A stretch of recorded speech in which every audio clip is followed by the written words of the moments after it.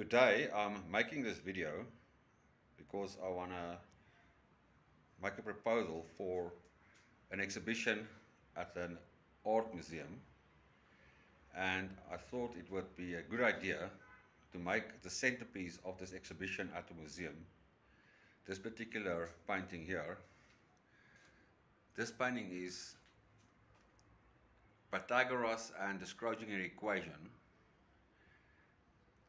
it looks a bit different than my normal paintings. Here it's got the Schrodinger cat which represents um, you know the Schrodinger equation how Schrodinger wanted to explain his very complex ideas by using an example of a cat in a box.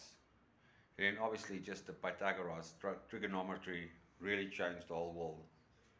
It um, allowed us to calculate distances that we could never do before and so I think it's a very big centerpiece in mathematics. Uh, if you um, are aware of my art um, I'm obviously doing hybrid pointillism. Uh, we have a manifesto and everything for the for the art movement. And in hybrid pointillism that is quite interesting is we even will count the splattering as points or uh, little dots. So for example, in this painting over here, it's a lady and then there's two houses next to her and it's like a landscape scene. If this painting is framed, it will be 120 by 160 centimeters.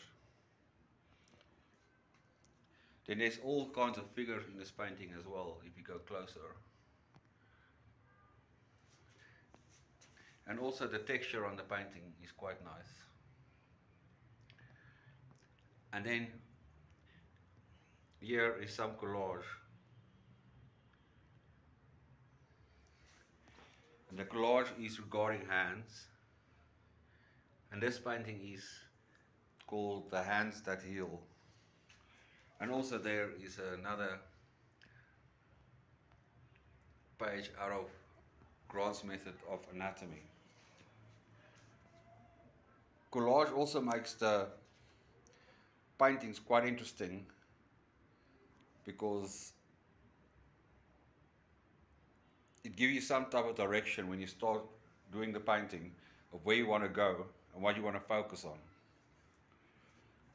Then there's just some other examples of paintings as well. And then also for part of the museum exhibition, this painting of Frida Kahlo and then these found objects which is a stove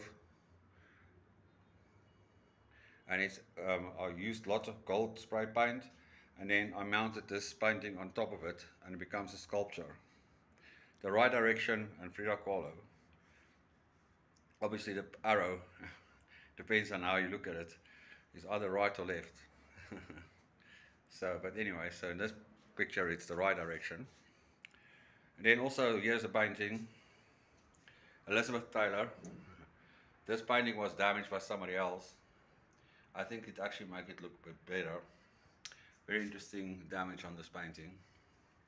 And also again, there you can, up close you can see the texture and the little splatterings on the painting. Here's an, oh, and then this painting is Jean Dubuffet. Obviously a very big influence on the hybrid pointillism art movement. And also when you go closer, you will see there is some splattering, but not it's not um, very severe. It's just like a little bit of splattering. And then you go to this painting over here, and when you go closer, you'll see there's very intense splattering all over the painting. These paintings are all mostly done in acrylic, enamel, ink, and collage and found objects, any type of material I can get my hands on. Uh, oh, there I in the reflection is out.